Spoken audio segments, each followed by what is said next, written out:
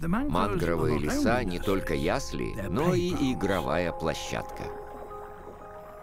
Цель этой игры здесь — пережить наиболее уязвимую стадию жизни любого животного — юность. Маленькие черепашки, скаты и даже акулы укрываются здесь.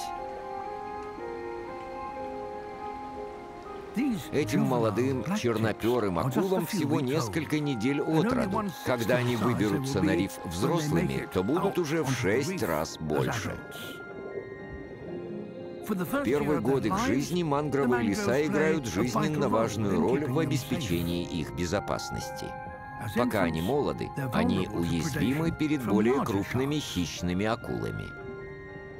Но заросли мангровых корней ограждают молодняк от больших хищников и не дают им их съесть. Когда молодняк созревает, то рано или поздно покидает этот защищенный мир мангровых корней.